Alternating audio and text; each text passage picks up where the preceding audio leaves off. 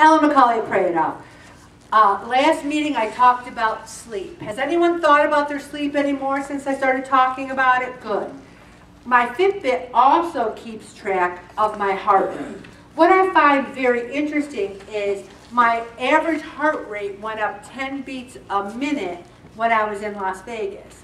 And my average daily heart rate went up from uh, like 50 to 60. And I have, I suffer from a really low heart rate, and the doctors are keeping an eye on it.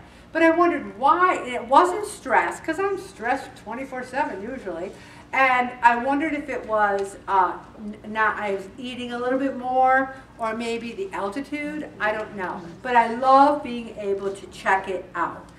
Uh, you should be between 60 and 100 beats per minute. I have a little chart here. It calls it a fat burning heart rate. Where, you know, if I go along my whole life and my heart rate's 50 or 60 beats a minute, I'm not about to lose any weight by increasing my metabolism. I should be getting my heart rate up to 78 to 132 beats per minute. I had to go and have a stress test, and they actually stopped me. I had no problem getting in the 130s.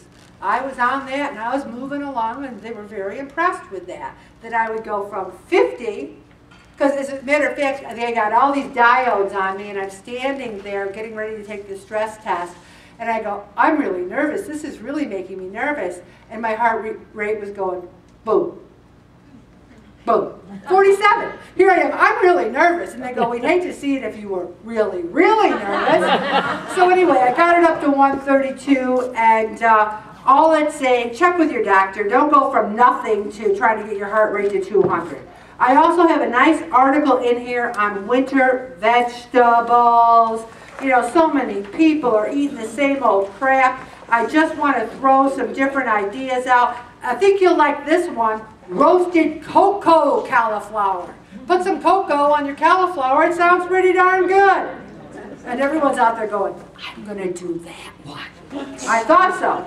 Parsnip and kale gratin and they're going to say, you had me at gratin, Ellen. Also, carrots and dill. I'm going to ask you to check those out. And I like this. Jerusalem artichokes and Brussels sprouts looks good. Chicken and root vegetable soup. Check out those recipes. Stopping right there, Bobby.